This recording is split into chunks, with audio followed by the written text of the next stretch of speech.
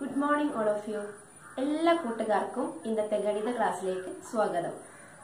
Teacher ഇന്ന് നിങ്ങൾക്കായിട്ട് നിങ്ങൾ ഓരോ ഗ്രൂപ്പിനും നമ്മൾ നമ്മുടെ ക്ലാസ്സിൽ വ്യത്യസ്ത ഗ്രൂപ്പുകളുണ്ട്. ഓരോ ഗ്രൂപ്പിനും നമ്മൾ ക്ലാസ്സിൽ ചെയ്യുന്ന പ്രവർത്തനങ്ങൾ അതായത് ചാർട്ട് പ്രവർത്തനങ്ങൾ എ ഫോറിൽ ചെയ്യുന്ന പ്രവർത്തനങ്ങൾ എല്ലാ പ്രവർത്തനങ്ങൾക്കും വേണ്ടിയിട്ടുള്ള ഓരോ ഗ്രൂപ്പിനും ടീച്ചർ കുറച്ച് കളർ കൊണ്ടുവന്നിട്ടുണ്ട്.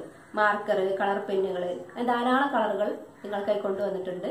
ടീച്ചർ അതൊന്ന് നിങ്ങളെ കാണിക്കാം. ഇതാണ് കൂട്ടുകാരെ നിങ്ങൾക്ക് ടീച്ചർ കൊണ്ടുവന്ന കളറുകൾ എല്ലാ ഗ്രൂപ്പുകാരും നിങ്ങൾക്ക് ആവശ്യമുള്ള ഇഷ്ടമുള്ള കളറുകൾ വന്ന് സെലക്ട് ചെയ്തോളൂ. ടീച്ചർ മേശപ്പുറത്ത് വെച്ച കളറുകൾ മൂന്ന് ഗ്രൂപ്പ് വന്ന് എടുത്തില്ലേ? നിങ്ങൾ ഇഷ്ടപ്പെട്ട കളർ വേണം എടുക്കാൻ. എങ്കിൽ പറയൂ ഒന്നാമത്തെ ഗ്രൂപ്പ് എത്ര കളർ എടുത്തു? മൂന്നെണ്ണോ? രണ്ടാമത്തെ ഗ്രൂപ്പോ അഞ്ച് വീതമോ? മൂന്നാമത്തെ ഗ്രൂപ്പ് എത്ര വീതം കളർ എടുത്തു? നാലെണ്ണോ? ശരി എങ്കിൽ ഓരോരുത്തർക്കും ഏതെല്ലാം നിറത്തിലുള്ള കളറുകളാണ് കിട്ടിയതെന്ന് നമുക്കൊന്ന് നോക്കാം. നമുക്കൊന്ന് പട്ടികപ്പെടുത്തിയാലോ? ഒന്നാമത്തെ ഗ്രൂപ്പിന് കിട്ടിയ കളർ ടീച്ചർക്കൊന്ന് തന്നേ. നോക്കട്ടെ. ആ മൂന്ന് കളർ വീതമാണല്ലേ? നിങ്ങൾ സെലക്ട് ചെയ്തത്. അപ്പൊ നോക്കൂ ഒന്നാമത്തെ ഗ്രൂപ്പ് സെലക്ട് ചെയ്തത് നീല ഒരു കളറും ചുവപ്പ് രണ്ടെണ്ണവും രണ്ടാമത്തെ ഗ്രൂപ്പ് സെലക്ട് ചെയ്തത് അഞ്ച് കളറുകളാണെന്ന് പറഞ്ഞു. ടീച്ചർ നോക്കട്ടെ ഏതെല്ലാം കളറുകളാണ് നിങ്ങൾ സെലക്ട് ചെയ്തതെന്ന്. അപ്പം രണ്ടാമത്തെ ഗ്രൂപ്പ് സെലക്ട് ചെയ്തത് അഞ്ച് കളറുകളാണ്. അവർ സെലക്ട് ചെയ്ത കളറുകൾ ഏതൊക്കെയാ? ഒന്നാമത്തെ ഗ്രൂപ്പ് സെലക്ട് ചെയ്തത് ഒരു നീലയായിരുന്നു. രണ്ടാമത്തെ ഗ്രൂപ്പ് സെലക്ട് ചെയ്തത് രണ്ട് നീല കളറുകളും ഒരു പച്ച കളറും രണ്ട് ചുവപ്പ് കളറുകളുമാണ്. എങ്കിൽ മൂന്നാമത്തെ ഗ്രൂപ്പുകാർ സെലക്ട് ചെയ്ത കളറുകൾ ഏതൊക്കെ? അവർ നാല് കളറുകളാണ് സെലക്ട് ചെയ്തത്. നോക്കൂ കാപ്പി രണ്ടെണ്ണം റോസ് ഒന്ന് ഓറഞ്ച് ഒന്ന്. അങ്ങനെ അവർ നാല് കളറുകൾ വീതം സെലക്ട് ചെയ്തിട്ടുണ്ട്. ഗ്രൂപ്പുകാരും സെലക്ട് ചെയ്ത കളേഴ്സിന്റെ എണ്ണം നമ്മളിവിടെ പട്ടികപ്പെടുത്തി. ഇനി നോക്കൂ ഒന്നാമത്തെ ഗ്രൂപ്പ് ഒരു നീല കളറും രണ്ട് ചുവപ്പ് കളറുമാണ് സെലക്ട് ചെയ്തത്. മൂന്നാമത്തെ ഗ്രൂപ്പ് രണ്ട് നീലയും രണ്ട് ചുവപ്പും ഒരു പച്ചയുമാണ് സെലക്ട് ചെയ്തത് മൂന്നാമത്തെ ഗ്രൂപ്പ് രണ്ട് കാപ്പിയും ഒരു ഓറഞ്ചും ഒരു റോസ് കളറുമാണ് സെലക്ട് ചെയ്തത് അപ്പോൾ ഇവർ സെലക്ട് ചെയ്ത നമ്പേഴ്സിന്റെ പ്രത്യേകത എന്താന്ന് നോക്കാം. ഓരോ ഗ്രൂപ്പും എടുത്ത കളർ നമ്മളിവിടെ പട്ടികപ്പെടുത്തി. ഇനി ആ സംഖ്യകൾ നമുക്കൊന്ന് ചേർത്ത് എഴുതി നോക്കാം. ചേർത്ത് എഴുതുമ്പോൾ ഒന്നാമത്തെ ഗ്രൂപ്പ് സെലക്ട് ചെയ്തത് എങ്ങനെ വരും? ആദ്യത്തെ സംഖ്യ ഒന്നും രണ്ടാമത്തെ സംഖ്യ രണ്ടും. പിന്നെ മൂന്നാമത്തെ ഗ്രൂപ്പ് സെലക്ട് ചെയ്തത് ആദ്യത്തെ സംഖ്യ രണ്ടും രണ്ടാമത്തെ സംഖ്യ രണ്ട് മൂന്നാമത്തെ സംഖ്യ ഒന്ന്. മൂന്നാമത്തെ ഗ്രൂപ്പ് സെലക്ട് ചെയ്ത നമ്പേഴ്സ് രണ്ട് ഒന്ന് ഒന്ന്. ഇവ നമുക്ക് എങ്ങനെ ചേർത്ത് വായിക്കാം. അതാണ് നമ്മൾ ഇനി നോക്കുന്നത്. ആദ്യത്തെ ഗ്രൂപ്പ് പന്ത്രണ്ട്. അത് ചേർത്ത് വായിക്കുമ്പോൾ ഒന്നും രണ്ടും ചേർന്നാൽ പന്ത്രണ്ട്. നിങ്ങൾക്ക് എല്ലാവർക്കും അറിയാലോ. ഈ രണ്ടാമത്തെ മൂന്നാമത്തെ ഗ്രൂപ്പിന് മൂന്ന് സ്ഥാനങ്ങളുണ്ട്. ആ മൂന്ന് സ്ഥാനങ്ങളുള്ള സംഖ്യയെ നമ്മൾ എങ്ങനെ ചേർത്ത് വായിക്കും? നൂറ് കഴിഞ്ഞിട്ടുള്ള സംഖ്യകളാണ് ഇവയെല്ലാം. അതായത് മൂന്നാമത്തെ ഗ്രൂപ്പ് സെലക്ട് ചെയ്തതും രണ്ടാമത്തെ ഗ്രൂപ്പ് സെലക്ട് ചെയ്തതെല്ലാം നൂറ് കഴിഞ്ഞിട്ടുള്ള സംഖ്യകളാണ്. അപ്പൊ നമുക്ക് എങ്ങനെ വായിക്കാം? രണ്ടാമത്തെ ഗ്രൂപ്പ് സെലക്ട് ചെയ്ത സംഖ്യകൾ എന്ന് പറയുന്നത് ഇരുന്നൂറ്റി ഇരുപത്തി ഒന്നാണ്. രണ്ടാമത്തെ ഗ്രൂ മൂന്നാമത്തെ ഗ്രൂപ്പ് സെലക്ട് ചെയ്തത് ഇരുന്നൂറ്റി പതിനൊന്നാണ്. അപ്പോൾ ഈ സംഖ്യകൾക്ക് എല്ലാവരും പ്രത്യേകതയുണ്ട്. മൂന്നക്ക സംഖ്യകൾ സംഖ്യകളാണ്. കൂടാതെ മൂന്ന് സ്ഥാനങ്ങൾ കൂടിയുണ്ട് ഇവയ്ക്ക്. മാത്രവുമല്ല നൂറിനും അപ്പുറത്തുള്ള സംഖ്യകളാണ് ഇവ. പന്ത്രണ്ട് എന്ന് പറയുന്നത് നൂറിനും ഇപ്പുറത്തുള്ള സംഖ്യകളാണ്. അപ്പൊ ഈ രണ്ട് മൂന്നാം ഗ്രൂപ്പും രണ്ടാം ഗ്രൂപ്പും സെലക്ട് ചെയ്തിരിക്കുന്നത് നൂറിനും അപ്പുറത്തുള്ള സംഖ്യകളാണ്. അവ ചേർത്ത് വായിക്കുമ്പോൾ നൂറിനും അപ്പുറത്തുള്ള സംഖ്യകളാണ് നമുക്ക് കിട്ടിയത് അല്ലെ? ഇരുന്നൂറ്റി ഇരുപത്തി ഒന്നും ഇരുന്നൂറ്റി പതിനൊന്നും. അപ്പൊ നമുക്ക് പുതിയൊരു ചാപ്റ്ററിലേക്ക് കടക്കാം. നൂറിനും അപ്പുറത്ത് നൂറിനും അപ്പുറത്തുള്ള സംഖ്യകൾ. പുതിയ ചാപ്റ്ററിന്റെ പേരാണ് നൂറിനും അപ്പുറം. അപ്പൊ ഈ നൂറിനും അപ്പുറം എന്ന് പറയുന്നത് നൂറിനും അപ്പുറത്തുള്ള സംഖ്യകളെ കുറിച്ച് വായിക്കാനും എഴുതാനും അവിടെ സ്ഥാനങ്ങളും ഒക്കെ പഠിക്കാൻ വേണ്ടിയിട്ടാണ്. അപ്പൊ നിങ്ങൾ മൂന്നക്ക സംഖ്യകൾ വായിക്കാൻ പഠിച്ചു. ഈ ടീച്ചർ നിങ്ങൾക്കായി കുറെ സംഖ്യാ കാർഡുകൾ കൊണ്ടുവന്നിട്ടുണ്ട്. അത് നമുക്ക് നോക്കിയാലോ? ടീച്ചർ നിങ്ങൾക്കായി കൊണ്ടുവന്ന സംഖ്യാ കാർഡുകളാണ് പച്ച നിറത്തിലുള്ള സംഖ്യാ കാർഡുകളുണ്ട് ചുവന്ന നിറത്തിലുള്ള സംഖ്യാ കാർഡുകളുണ്ട് കാപ്പി നിറത്തിലുള്ള സംഖ്യാ കാർഡുകളുണ്ട് അങ്ങനെ മൂന്ന് കളറുകളിലുള്ള സംഖ്യാ കാർഡുകൾ ടീച്ചർ നിങ്ങൾക്ക് നിങ്ങൾക്കായി കൊണ്ടുവന്നിട്ടുണ്ട്. അപ്പോൾ ഇത് ഈ സംഖ്യാ കാർഡുകൾ ഞാൻ ഓരോരുത്തർക്കായിട്ടും വിതരണം ചെയ്യാൻ പോവുകയാണ്. അപ്പൊ എല്ലാവർക്കും സംഖ്യാ കാർഡുകൾ കിട്ടിയില്ലേ? മൂന്ന് നിറത്തിലുള്ള സംഖ്യാ കാർഡുകളാണ് ഓരോരുത്തർക്കും കിട്ടിയിരിക്കുന്നത്. അപ്പോൾ പച്ച നിറത്തിലുള്ള നിറത്തിലുള്ള സംഖ്യാ കാർഡുകൾ കിട്ടിയവരെല്ലാം ഒരു ഗ്രൂപ്പും ചുവപ്പ് നിറത്തിൽ കിട്ടിയ സംഖ്യ- കാർഡുകൾ കിട്ടിയ കുട്ടികളെല്ലാം രണ്ടാമത്തെ ഗ്രൂപ്പും കാപ്പി നിറത്തിലുള്ള സംഖ്യാ കാർഡുകൾ കിട്ടിയവർ മൂന്നാമത്തെ ഗ്രൂപ്പുമായി തിരഞ്ഞെടുക്കുക. അപ്പോൾ ഓരോരുത്തർക്കും വ്യത്യസ്ത കളറുകളിലുള്ള സംഖ്യാ കാർഡുകൾ കിട്ടിയിട്ടുണ്ട്. ആദ്യത്തെ ഗ്രൂപ്പ് ഏതായിരുന്നു? ആ പച്ച. പച്ചക്ക് പച്ച ഗ്രൂപ്പിന് കിട്ടിയ സംഖ്യാ കാർഡുകൾ ഏതെങ്കിലും രണ്ടെണ്ണം നിങ്ങളെ ടീച്ചറെ കാണിക്കുക. പച്ച ഗ്രൂപ്പിന് കിട്ടിയത് അതായത് ആദ്യത്തെ ഗ്രൂപ്പ് പച്ചയാണ്. പച്ച ഗ്രൂപ്പിന് കിട്ടിയ സംഖ്യാ കാർഡുകളാണ് ഇത് രണ്ടെണ്ണം. അപ്പൊ ഇവിടെ ശ്രദ്ധിക്കൂ. അവർക്ക് കിട്ടിയ ഈ രണ്ട് സംഖ്യകൾ നമ്മൾ എങ്ങനെ വായിക്കും? ഇത് മൂന്നക്ക സംഖ്യാ കാർഡുകളാണ്.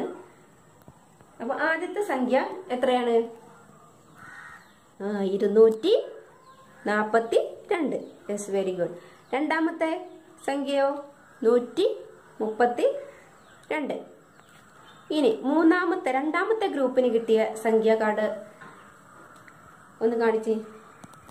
രണ്ടാമത്തെ ഗ്രൂപ്പ് ചുവപ്പാണ്. ഇപ്പൊ ചുവപ്പിന് കിട്ടിയ സംഖ്യ കാർഡുകളായിരുന്നു ഇരുന്നൂറ്റി അമ്പത്തി ഒന്നും നാനൂറ്റി മുപ്പത്തി രണ്ടും ഇനി മൂന്നാമത്തെ ഗ്രൂപ്പിന് കിട്ടിയ സംഖ്യ കാടോ എഴുന്നൂറ്റി ഇരുപത്തി മൂന്നും മുന്നൂറ്റി നാൽപ്പത്തി അഞ്ചും. ടീച്ചർ സംഖ്യ കാർഡുകളിൽ നിന്നും ഒരു സംഖ്യ എടുത്തിട്ടുണ്ട്. നൂറ്റി മുപ്പത്തി രണ്ട്. ഈ സംഖ്യ കാർഡുകൾ ഈ സംഖ്യകളുടെ പ്രത്യേകതകൾ എന്തൊക്കെയാണ്? നോക്കാം. ഈ സംഖ്യകൾക്ക് എത്ര സ്ഥാനങ്ങളുണ്ട്? ആർക്ക് പറയാൻ പറ്റും? എത്ര സ്ഥാനങ്ങളുണ്ട് സംഖ്യകൾക്ക്? യെസ് മൂന്ന് സ്ഥാനങ്ങൾ. ഏതൊക്കെയാണവ? എങ്ങനെ പറയും? ഒറ്റ പത്ത് നൂറ്. മൂന്ന് സ്ഥാനങ്ങളുണ്ട് സംഖ്യാസ്ഥാനങ്ങൾക്ക്. എത്ര ഉണ്ട് മൂന്നെണ്ണം. ഏതൊക്കെയാണവ? ഒറ്റ പത്ത് നൂറ്. പിന്നീട് അടുത്തെന്ത് പ്രത്യേകതയാണുള്ളത് ഒന്ന് പറഞ്ഞേ ആർക്ക് പറയാൻ പറ്റൂ? എവിടെ മുതലാണ് നമ്മൾ സംഖ്യകൾ വായിക്കുന്നത്? നിങ്ങൾ എല്ലാവരും ഇപ്പൊ സംഖ്യകൾ വായിച്ചു. നൂറ്റി മുപ്പത്തിരണ്ട് സ്ഥാനങ്ങൾ എങ്ങനെയായിരുന്നു? ഒറ്റ പത്ത് നൂറ്. അപ്പൊ എവിടെ മുതലായിരുന്നു നമ്മൾ സംഖ്യകൾ വായിച്ചത്? ആ നൂറിന്റെ സ്ഥാനത്ത് നിന്നാണ് നമ്മൾ സംഖ്യകൾ വായിക്കുന്നത്. അപ്പൊ എങ്ങനെ വായിക്കും? അപ്പൊ നൂറിന്റെ സ്ഥാനം നൂറ്റി മുപ്പത്തി രണ്ട് ഇനി എന്ത് പ്രത്യേകതയാണുള്ളത് സംഖ്യാകാർഡുകൾക്ക് സംഖ്യാ കാർഡുകൾക്ക്? ആ ഒരു പ്രത്യേകത കൂടിയുണ്ട്. ഇടത്തോട്ട് പോകും തോറും സംഖ്യകൾ പത്ത് മടങ്ങ് വർദ്ധിക്കുന്നു. ഇടത്തോട്ട് പോകും തോറും സംഖ്യകൾക്ക് പത്ത് മടങ്ങ് വർദ്ധിക്കുന്നു. ഒറ്റ പത്ത് നൂറ്. ഇങ്ങനെ പത്ത് മടങ്ങ് വർദ്ധിക്കുന്നു. അപ്പൊ എന്തൊക്കെയായിരുന്നു സംഖ്യാകാർഡുകൾ? സംഖ്യകളുടെ പ്രത്യേകത മൂന്നക്ക സംഖ്യയുടെ പ്രത്യേകത? മൂന്ന് സ്ഥാനങ്ങളുണ്ട്. ഒറ്റ പത്ത് നൂറ്. ഏതൊക്കെയാണവ? ഒറ്റ പത്ത് നൂറ്. പിന്നെന്ത് പ്രത്യേകതയുള്ളത്? സംഖ്യകൾ വായിക്കുന്നത് നൂറിന്റെ സ്ഥാനത്ത് നിന്നാണ്. സംഖ്യകൾ വായിക്കുന്നത് നൂറിന്റെ സ്ഥാനത്ത് നിന്നാണ്. പിന്നെന്ത് പ്രത്യേകതയുള്ളത്? ഇടത്തോട്ട് പോകും തോറും സംഖ്യകൾ പത്ത് മടങ്ങായി വർദ്ധിക്കുന്നു. ഇടത്തോട്ട് പോകും തോറും സംഖ്യകൾ പത്ത് മടങ്ങായി വർദ്ധിക്കുന്നു. അപ്പൊ മനസ്സിലായില്ലേ? സംഖ്യകളുടെ പ്രത്യേകതകൾ എന്തൊക്കെയാണെന്ന്? അപ്പൊ എല്ലാവരും മൂന്നക്ക സംഖ്യയുടെ പ്രത്യേകതകൾ നോട്ട് ബുക്കിൽ കുറിച്ചില്ലേ? ഇനി നമ്മൾ സംഖ്യാസ്ഥാനങ്ങൾ നമ്മൾ പറഞ്ഞു. ഒറ്റ പത്ത് നൂറ്. ഇവ നമുക്ക് എങ്ങനെ ക്രമീകരിക്കാം? ഒറ്റ പത്ത് നൂറ് എന്നീ സ്ഥാനങ്ങൾ ക്രമീകരിക്കുന്ന എന്ത് ടൂളാണ് നിങ്ങൾ ഇതിനു മുമ്പ് പഠിച്ചിട്ടുള്ളത്? ആർക്ക് പറയാൻ പറ്റും? Yes very good abacus teacher നിങ്ങൾക്ക് നിങ്ങളെ ഒരു അബാക്കസ് കാണിക്കാം. ഇതാ നോക്കൂ. ഇതാണ് ടീച്ചർ നിങ്ങൾക്കായി കൊണ്ടുവന്ന അബാക്കസ് ഈ അബാക്കസ് നിങ്ങൾ മുമ്പ് പഠിച്ചിട്ടുണ്ടോ? നിങ്ങൾ മുമ്പ് പഠിച്ചിട്ടുണ്ടോ അബാക്കസ് യെസ് രണ്ടാം ക്ലാസ്സിൽ നിങ്ങൾ പഠിച്ചിട്ടുള്ളതാണ് അബാക്കസ്. ഇനി നമ്മൾ നേരത്തെ മൂന്ന് ഗ്രൂപ്പുകളായി തിരിച്ചില്ലേ? പച്ചക്കാട് കിട്ടിയവർ ഒന്നാം ഗ്രൂപ്പും രണ്ടാം ഗ്രൂപ്പിന് ചുവപ്പും മൂന്നാം ഗ്രൂപ്പിന് കാപ്പി നിറത്തിലുള്ള സംഖ്യാ കാർഡുകൾ നമ്മൾ പരിചയപ്പെട്ടു. അപ്പൊ നമ്മൾ വായിച്ചു അവിടെ പ്രത്യേകതകൾ പറഞ്ഞു. ഇനി അവ സ്ഥാന വിലക്കനുസരിച്ച് ക്രമീകരിക്കണം. നമുക്ക് നോക്കാം. ഇവിടെ നാല് സ്ഥാനങ്ങളുണ്ട്. നമ്മൾ നൂറിനും അപ്പുറത്തുള്ള സംഖ്യകൾ മൂന്നക്ക സംഖ്യകൾ അത് തൊള്ളായിരത്തി തൊണ്ണൂറ്റി ഒമ്പത് വരെയുള്ള സംഖ്യകളാണ് നമ്മൾ ക്രമീകരിക്കുന്നത്. നൂറിനും അപ്പുറം എന്ന് പറയുന്നത് അങ്ങനെയല്ലേ? പിന്നെ എങ്ങനെയാ? തൊള്ളായിരത്തി തൊണ്ണൂറ്റി ഒമ്പത് കഴിഞ്ഞാൽ പിന്നെ ആയിരമാണ്. അപ്പൊ നാലക്കമായി നമ്മൾ മൂന്നക്ക സംഖ്യ സംഖ്യകളെയാണ് നമ്മൾ ക്രമീകരിക്കുന്നത്. ഇവിടെ നമ്മൾ ഒറ്റ വൺസിന്റെ സ്ഥാനം പത്തിന്റെ സ്ഥാനം നൂറിന്റെ സ്ഥാനം ഇവിടെ ആയിരം. ആയിരം നമുക്ക് ആവശ്യമില്ല. എങ്കിലും നമുക്ക് നൂറ് വരെയുള്ള സ്ഥാനങ്ങൾ ക്രമീകരിക്കാം. അപ്പൊ ആദ്യത്തെ ഗ്രൂപ്പിന് നമുക്ക് പച്ച ഗ്രൂപ്പിൽ നമുക്ക് കിട്ടിയ രണ്ട് കാർഡുകൾ നമുക്ക് തന്നിരുന്നു. ഏതൊക്കെയായിരുന്നു ആ നമ്പർ നൂറ്റി മുപ്പത്തിരണ്ടും ഇരുന്നൂറ്റി നാൽപ്പത്തിരണ്ടും ഇവയിൽ ഏത് സംഖ്യയാണ് നമുക്ക് ക്രമീകരിക്കേണ്ടത്? നോക്കാം. ഇരുന്നൂറ്റി നാൽപ്പത്തിരണ്ടാണല്ലേ നമുക്ക് ഇരുന്നൂറ്റി നാൽപ്പത്തിരണ്ട് സ്ഥാനവില അനുസരിച്ച് അബാക്കസിൽ ക്രമീകരിക്കാം. നോക്കാം. അപ്പൊ ഇരുന്നൂറ്റി നാൽപ്പത്തിരണ്ട് എന്ന സംഖ്യ നമ്മൾ അബാക്കസിൽ ഒന്ന് ക്രമീകരിക്കാം. ഇരുന്നൂറ്റി നാൽപ്പത്തിരണ്ട് എന്ന് പറയുമ്പോൾ ഒന്നിന്റെ സ്ഥാനത്ത് രണ്ട്. അപ്പൊ രണ്ട് വെക്കാം. വൺസിന്റെ സ്ഥാനത്ത് രണ്ട്. ഒന്ന്. രണ്ട്. പിന്നെ പത്തുകളുടെ സ്ഥാനത്തോ? നാല്.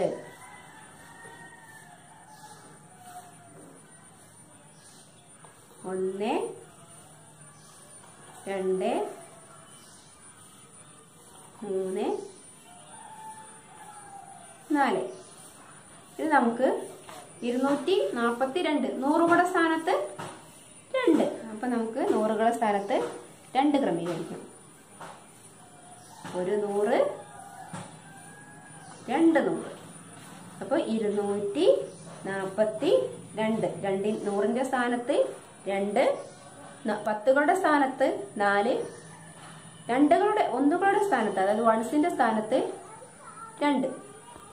നമ്മൾ ആദ്യത്തെ ഗ്രൂപ്പിന്റെ ഒരു സംഖ്യാ കാർഡിലെ സംഖ്യകൾ നമ്മൾ അബാക്കസിൽ ക്രമീകരിച്ചു. ഇനി രണ്ടാമത്തെ ഗ്രൂപ്പ് അതായത് ചോപ്പ്. ഇപ്പൊ ചോപ്പിൽ നമുക്കൊരു സംഖ്യ ആയിരുന്നു ഇരുന്നൂറ്റി അയിമ്പത്തി ഒന്ന്. ഈ ഇരുന്നൂറ്റി അയിമ്പത്തി ഒന്നിനെ നമുക്ക് അബാക്കസിൽ ക്രമീകരിക്കാം. അപ്പൊ ഇരുന്നൂറ്റി അയിമ്പത്തി ഒന്ന് എന്നുള്ള വൺസിന്റെ സ്ഥാനത്ത് നമുക്ക് ഒന്ന് ക്രമീകരിക്കാം. വൺസിന്റെ സ്ഥാനത്ത് ഒന്ന്. പത്തുകളുടെ സ്ഥാനത്ത് ടെൻസിന്റെ സ്ഥാനത്ത് അഞ്ച് ഇരുന്നൂറ്റി അമ്പത്തി ഒന്ന് പത്തുകളുടെ സ്ഥാനത്ത് അഞ്ച്. ഒരു പത്ത് രണ്ട് പത്ത് മൂന്ന് പത്ത് നാല് പത്ത് അഞ്ച് പത്തുകൾ. ഇരുന്നൂറ്റി അൻപത്തി ഒന്നാണ് അപ്പം ഇനി നൂറുകളുടെ സ്ഥാനത്തോ? രണ്ട് നൂറുകൾ. അപ്പം നമ്മൾ രണ്ട് നൂറുകൾ ക്രമീകരിക്കാം ഒരു നൂറ്. രണ്ട് നൂറ്. അപ്പൊ എത്രയായി? ഒന്നിന്റെ ഒന്നുകളുടെ സ്ഥാനത്ത് ഒന്ന് പത്തുകളുടെ സ്ഥാനത്ത് അഞ്ച് പത്തുകൾ നൂറിന്റെ സ്ഥാനത്ത് രണ്ട് നൂറുകൾ. അപ്പൊ നമ്മൾ എങ്ങനെ വായിക്കും? ഇരുന്നൂറ്റി അയിമ്പത്തി ഒന്ന്. ഇനി അടുത്തത് നമുക്ക് മൂന്നാമത്തെ ഗ്രൂപ്പ് ക്രമീകരിച്ചാലോ? ഇനി മൂന്നാമത്തെ സംഖ്യ. മൂന്നാമത്തെ ഗ്രൂപ്പിന് കിട്ടിയ സംഖ്യാ കാർഡുകളെ സംഖ്യകൾ നമുക്ക് നോക്കാം. മൂന്നാമത്തെ ഗ്രൂപ്പിലെ അതായത് കാപ്പി നിറത്തിലുള്ള സംഖ്യകളായിരുന്നു അല്ലെ? സംഖ്യ കാർഡുകളുടെ സംഖ്യകൾക്ക് കാപ്പി നിറമായിരുന്നു. മൂന്നാമത്തെ ഗ്രൂപ്പായിരുന്നു. അപ്പം ആ സംഖ്യയിലെ ആ സംഖ്യാകാടിലെ ഒരു സംഖ്യ കൂടി നമുക്കൊന്ന് ക്രമീകരിച്ച് നോക്കാം. അപ്പം മൂന്നാമത്തെ ഗ്രൂപ്പിലെ സംഖ്യ ഏതായിരുന്നു? ഒരു കാർഡിലെ സംഖ്യ മുന്നൂറ്റി നാൽപ്പത്തി അഞ്ച് അപ്പൊ നമ്മ എങ്ങനെ ക്രമീകരിക്കാൻ നോക്കാം? മുന്നൂറ്റി നാൽപ്പത്തി അഞ്ച് എന്നുള്ളത് അഞ്ചിന്റെ സ്ഥാനത്ത് അതായത് ഒന്നിന്റെ സ്ഥാനത്ത് അഞ്ചൊന്നുകൾ. ഒന്ന് രണ്ട് മൂന്ന് നാല് അഞ്ച്. മുന്നൂറ്റി നാൽപ്പത്തി അഞ്ച് എന്നുള്ളത് ഒന്നുകൂടെ സ്ഥാനത്ത് അതായത് വൺസിന്റെ സ്ഥാനത്ത് അഞ്ചെണ്ണം. ഇനി പത്തുകളുടെ സ്ഥാനത്ത് ടെൻസിന്റെ സ്ഥാനത്ത് നാല് നാല് പത്തുകൾ. വൺ ടു ത്രീ ഫോർ നൂറുകളുടെ സ്ഥാനത്തോ യെസ് മൂന്ന് നൂറുകൾ. ഒന്ന് രണ്ട് മൂന്ന്. ഇപ്പം എത്രയായി? മുന്നൂറ്റി നാൽപ്പത്തി അഞ്ച്. വൺസിന്റെ സ്ഥാനത്ത് ഒന്നുകൂടെ സ്ഥാനത്ത് അഞ്ച്. പത്തുകൂടെ സ്ഥാനത്ത് നാല്. നൂറുകൂടെ സ്ഥാനത്ത് മൂന്ന്. മുന്നൂറ്റി നാൽപ്പത്തി അഞ്ച്